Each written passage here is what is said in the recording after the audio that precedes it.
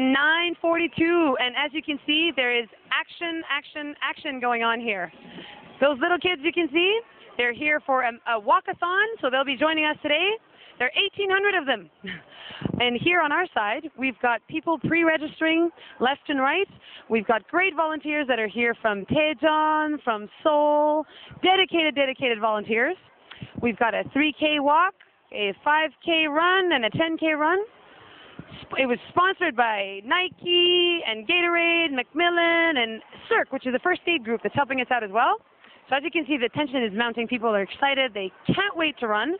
And there's been a bit of a hustle and bustle the, over the past five minutes. I think people will be registering a little bit late. So we'll be starting at 10:15.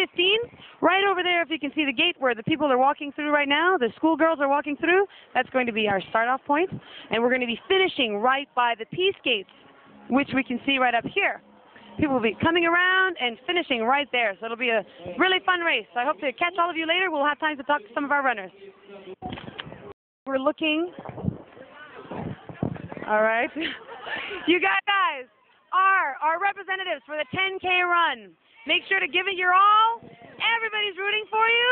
Okay, so have a great time. We'll be expecting you to finish live alive and well. Enjoy yourselves, and that's all I have to say. Wait a second. On your mark. There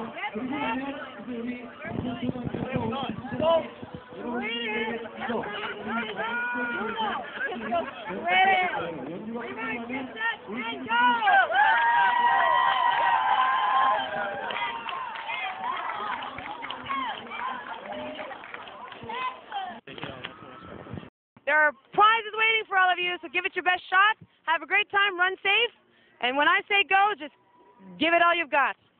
Okay, you'll be ready to go in five, four, three, two, your marks, get set, go!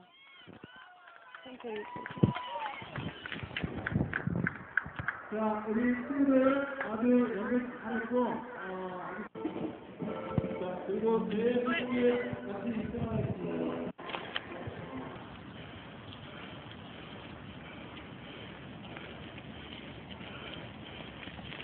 Who's